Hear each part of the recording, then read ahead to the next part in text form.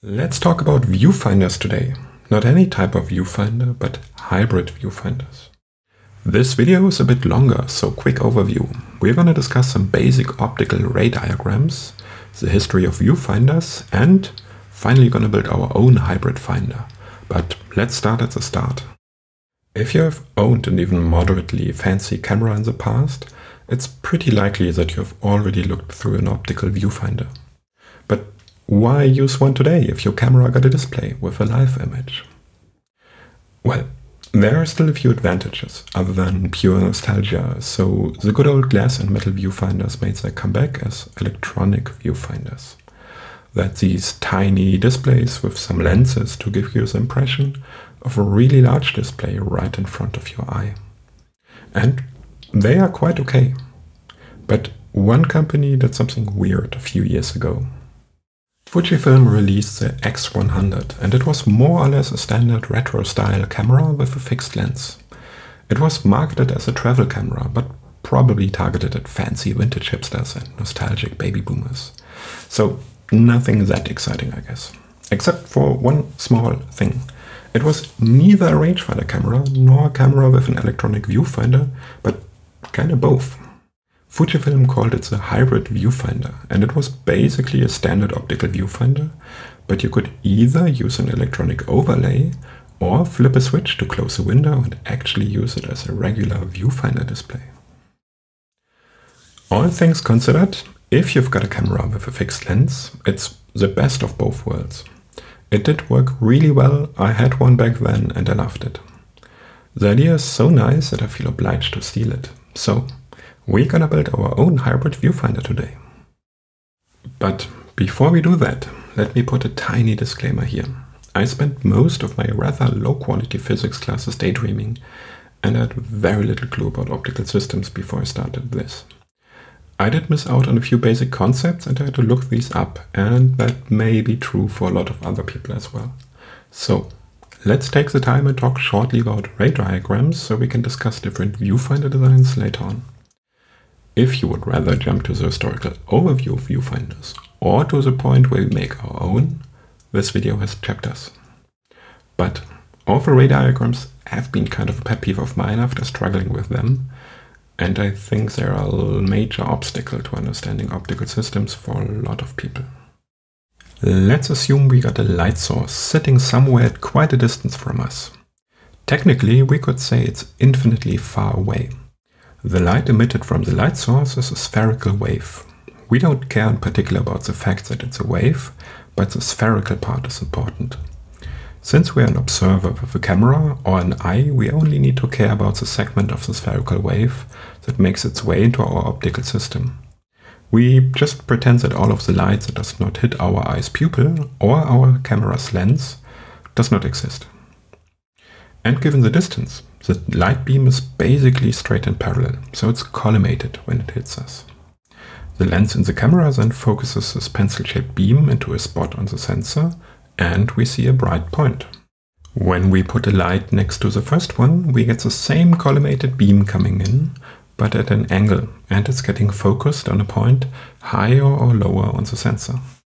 So, here starts my problem, because I never got that while sitting in the last row in my physics classes.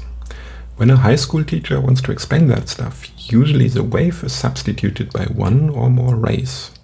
Simply because it's easier to think of light as a photon traveling along a straight line, and it kind of makes sense. But one or several of these rays in combination describe one or several aspects of how the optical system behaves. So sometimes this pencil-shaped beam is substituted by a single ray. Sometimes it is substituted by a bundle of rays. Sometimes only the minimum and maximum rays are actually drawn. Sometimes there's a single light source sending out collimated rays, and sometimes there's an object sending out light from infinitely many points, forming an image. So, looking at a selection of rays you see might either tell you that the light is collimated or focused, or they might tell you the field of view, or where the image is in focus, or if it is flipped, or the magnification ratio, or all of that at the same time. If you have the context or already know enough about optics to get which aspect of the system is depicted by the rays, it's easy. If you want to look at ray diagrams to get started, it's not. So that's kind of horrible. Of course, one needs to simplify things to build a mental model that is sufficient and easy to understand for the problem at hand. Most high school kids don't want to hear something about electromagnetic waves and Maxwell's equations and light fields first. Thin rays are easy to draw with chalk on a blackboard and allow geometrical ray tracing and so on. I know, but if you've got multiple conflicting simplifications, it just gets a mess, and it's not a good tool to convey this initial rough concept. Anyway, in our case, and for the sake of simplicity, we can think about light as thick pencil-shaped rays that are as wide as our optical system can handle. Instead of drawing two maximum and minimum rays, we draw one thick one. Later on, we'll shoot one ray along the optical axis and another one from a second light source. The second one will be at the highest or lowest angle that still makes it into the lens, but we'll use it only if necessary. The first one tells us what the optical system is doing to our light in general, and the second one tells us something about the field of view. That's only marginally better than standard ray diagrams, but the only way to make it really simple is fancy animation, and I'm way too lazy for that. Luckily, viewfinders are rather simple and a few basic rules apply. We can always assume that the object that is emitting the light is infinitely far away, thus the incoming light is collimated. The light exiting the viewfinder needs to be roughly collimated as well, because our eye does the focusing. And the eye needs a bit of distance to the last piece of glass, otherwise it gets really uncomfortable, or the 50% of the population wearing glasses are not happy. That's called eye relief. One last thing before this long winding intro is done. Lenses. Basically, there are a lot of lens shapes, but only two types are important for us. Converging lenses collect light and focus it on a point that lies in the same direction as light travels so the focal length is positive. Diverging lenses let light diverge, so it seems to originate from a virtual focal point on the backside of the lens. They have a negative focal length. So, that's the boring prerequisites. Now the fun part. Let's look at the evolution of viewfinders. Very early large format cameras used ground glasses and no viewfinder at all. In the place of the film holder there was a, well, ground piece of glass that diffused the focused light. So you could use it as a see-through projection screen. It has a few advantages, basically what you see is what you get, at least more or less, but the image was very dark, mirrored in both axes, and it enforced a very static style of taking images. Much quicker was the very first viewfinder for handheld cameras, and it was a bare minimum a sports viewfinder. You may know these Second World War era reporter style cameras, the Graflex Speed Graphic. The photographer needs to line up a hole and a wireframe, or two wireframes, and gets a rough estimate of the direction and field of view. If you want to make one yourself, that's pretty easy and straightforward with a 3D printer. The downside is that it can't show a field of view wider than the human eye. But even today, there might be situations where a sports viewfinder is useful. Let's look at the surprisingly fashionable diving camera ad from 1986, for example. Improving on the field of view problem is a Newton or Newtonian viewfinder, also referred to as a hybrid viewfinder. But that's not the type of hybrid we want to build here. It was a single negative lens that lets light diverge when it travels through it. When we follow the ray backwards in our diagram, we see the focal point in front of the lens. To use the viewfinder, you need to keep a minimum distance so the eye is able to refract the light enough to get it to focus on the retina. That's not very comfortable, and over the years we gradually lose our ability to squeeze the lens in our eyes, so these viewfinders were harder to use for old people. The big advantage? They make the world look smaller, so they work with wide angle lenses. On the images you can see frame lines on the glass and a signpost that helps to center the eye and get the correct framing. Let's move on to the first viewfinder as we know it and still use it today. The Newtonian is slightly uncomfortable to use, so what happens if we add another positive lens to counteract the diverging effect of the negative lens? We just need to align both focal points for that. The light enters and exits collimated. Perfect. But what happens if we shoot a second ray at an angle? We can see that the image on the retina becomes smaller, so we have a larger field of view through the viewfinder than through our bare eye. If we would flip it, the viewfinder would still work, but objects would look larger on the retina. That's also known as a Galilean telescope, so it makes sense that the viewfinder is called a reverse Galilean. The big advantage is that it's pretty simple. Two lenses, nothing else. The disadvantage, two lenses, nothing else. The only point where you could place frame lines in this optical system is at the focal point of the positive lens several centimeters in front of the viewfinder and that's not really an option. But the Galilean still has its uses today. I got a cheap disposable camera here. Let's open it up and see what's hiding in there. Quick note, discharge the capacitor of the flash. It hurts if you don't. So, what do we have here? Two injection molded clear plastic parts, one negative, one positive. It's a Galilean. But how do we get frame lines or other overlays in our image? I'm gonna skip a few different viewfinder designs in the meantime and talk only about two concepts still relevant today. One of those is the Albada viewfinder. Let's keep our Galilean viewfinder but try to put the focal point somewhere inside the viewfinder assembly. That's what Van Albada did in the 1930s. Deposit a bit of silver on the curved surface of the negative lens not enough to make it a regular mirror, but enough to reflect some light. The rest of the light will still pass through it. We'll talk a bit more about this later. Now we put some white paint or translucent cellophane paper around the positive lens on the inside of the viewfinder housing, just like you see here. The focused image of these frame lines is then reflected by the mirror and collimated by the positive lens. When it hits the eye, it looks like an overlaid image, Pretty clever. Okay, last one. The problem of the Albada viewfinder is that the curvature of the negative lens is both used for refracting light and for reflecting it. That's a bit of unnecessary complexity. Can we, maybe, split the refracting and the reflecting parts of this concept? Sure, and that's a bright frame viewfinder. Instead of depositing a tiny amount of reflective silver on the curved lens surface, we can do that with a flat piece of glass in between positive and negative lens. If we just add enough metal to get the surface to 50% reflection, we can create a beam splitter. Half of the light travels unobstructed through the silver coating, almost like a window. Half of the light gets reflected in a 90 degree angle. If that sounds vaguely familiar, that's exactly how teleprompters work, or the famous Pepper's Ghost illusion. In a second step we can use light from the environment which hits a diffuser window with frame lines on the inside. This light is reflected by a regular mirror and the beam splitter mirror into the positive lens. That's kinda nifty because it allows us to have a much simpler viewfinder design, but it takes up a bit more space. But maybe you want to add additional things to the optical path anyway. That would be the point where we would venture into rangefinder designs.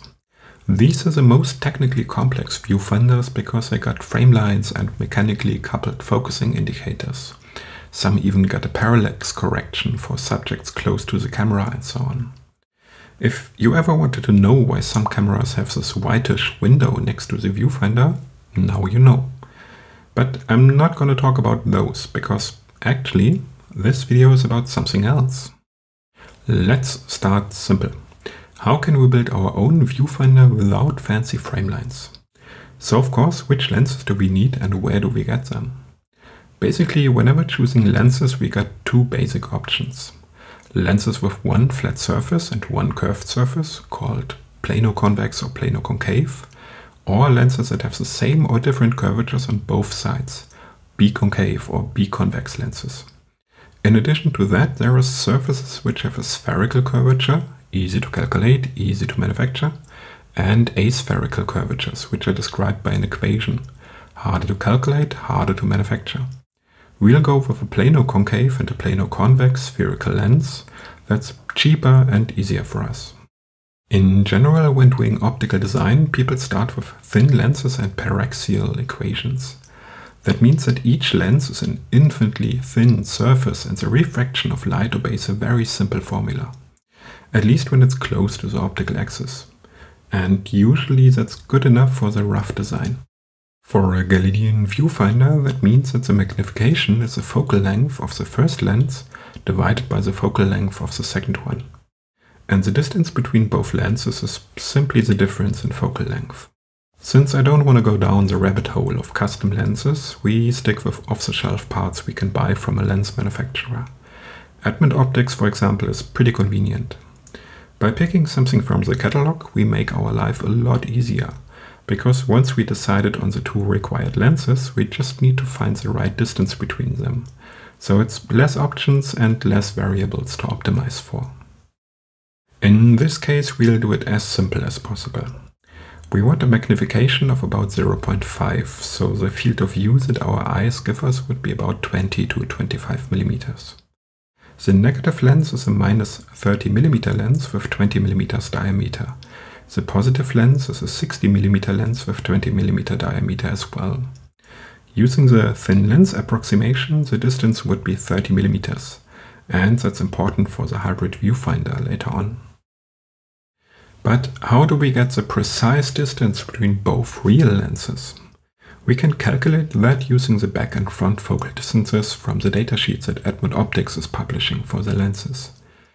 Or we can just crunch the numbers with software. I did this in this case with Zemax Optic Studio, importing the lenses from the built-in lens catalog. For this particular problem, that's surely a bit overkill, but it will save us a bit of hassle later on. These Optic Studio diagrams, however, are not exactly easy to read, so let's redraw them for this video. Usually when designing things, the convention dictates that light travels from left to right through the optical system, and on the right is the eye or the sensor. But for eyepieces it is apparently not uncommon to flip that around.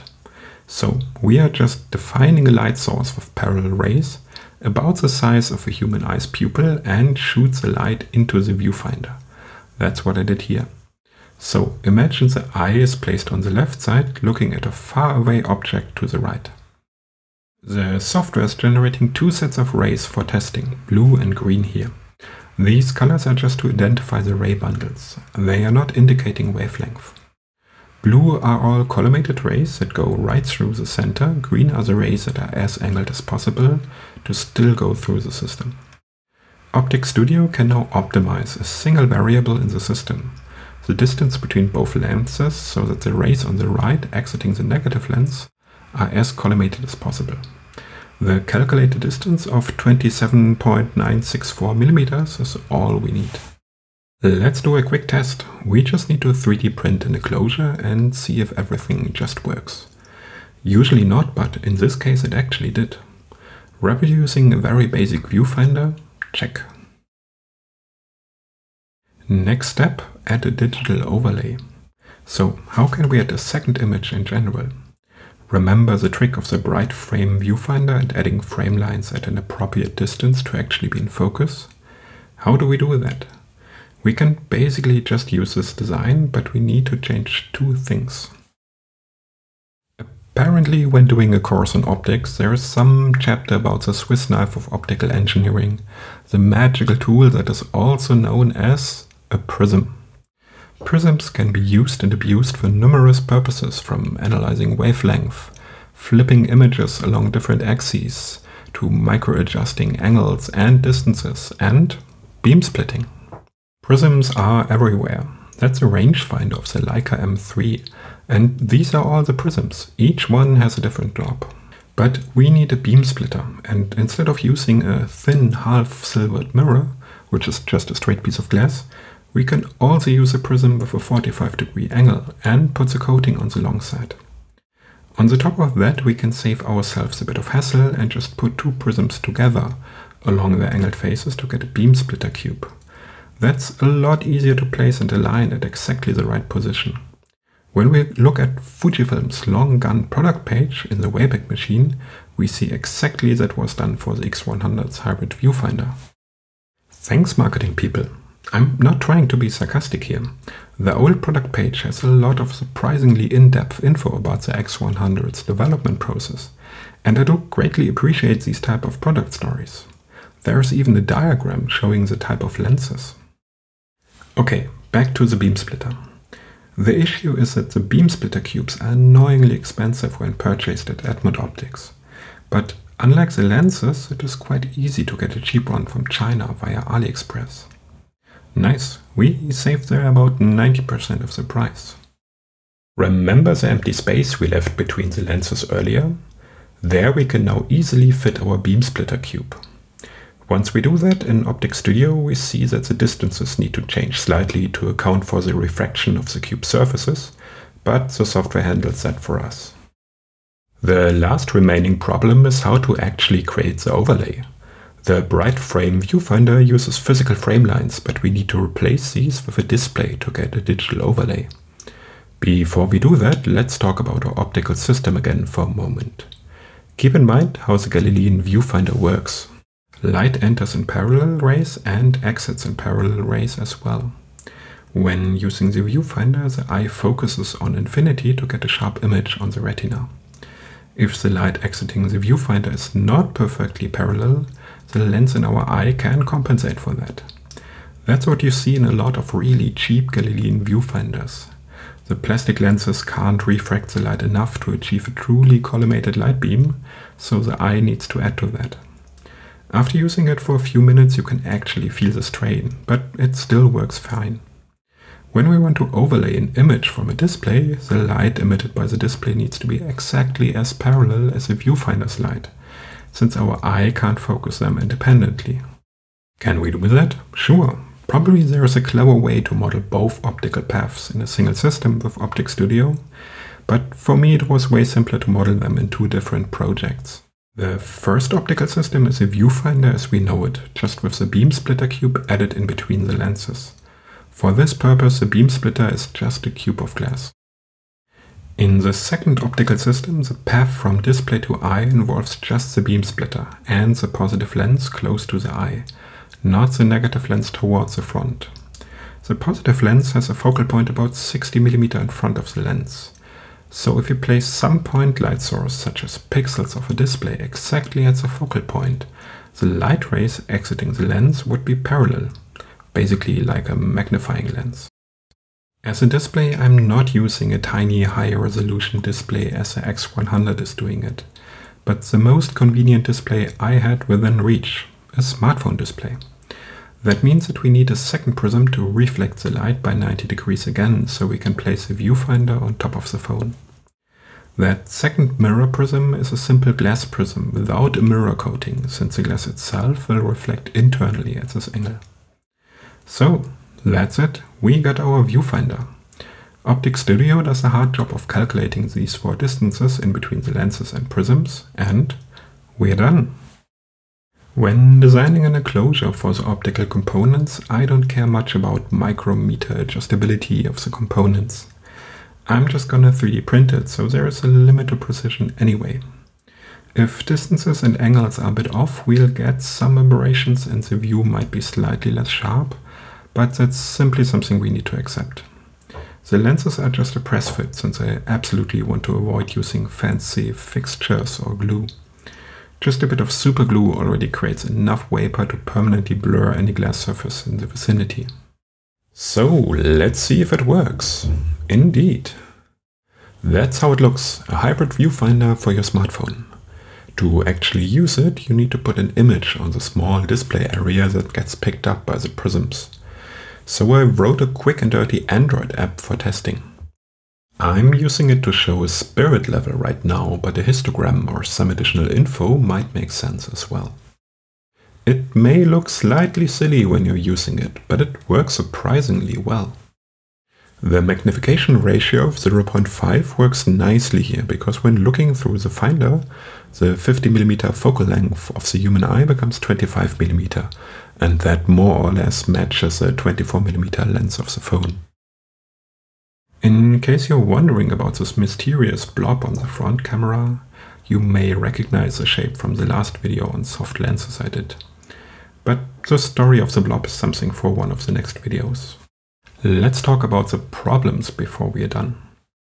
The optical path of the light emitted by the display involves only the positive lens and the prisms, nothing else.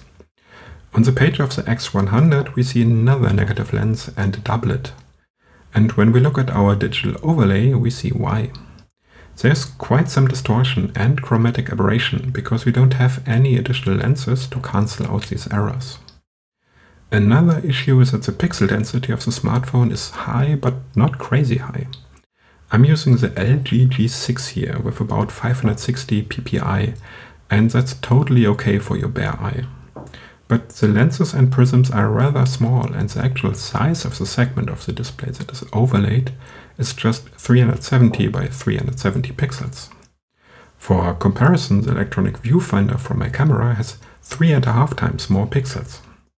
That makes the overlay a bit blocky and pixelated. There may be a clever way to capture a larger section of the display, but for now that should suffice. And we're coming to an end. I hope you enjoyed learning about the evolution of the camera viewfinder as much as I did. You can find a bit of additional info in the blog post linked in the description. If you want to build something similar, I listed the lenses and Edmund Optics part numbers there as well. Before I finish this video, most info about historical viewfinders in this video is based on an excellent compilation by Rick Oleson. I can highly recommend reading his whole article because I barely scratched the surface of what you will find there. That's it. Have fun and build something.